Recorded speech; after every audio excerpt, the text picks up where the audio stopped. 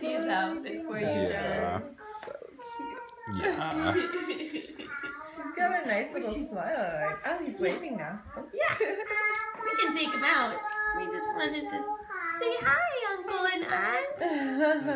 Say aunt and godparents. and godparents. Yeah. That's right. That's right. You smile at them. Will you smile at them for me? There's, the moose. Will you smile at them for me? Okay. Can I get the bear? Where's the bear? There. Can I There. get There you go. Okay.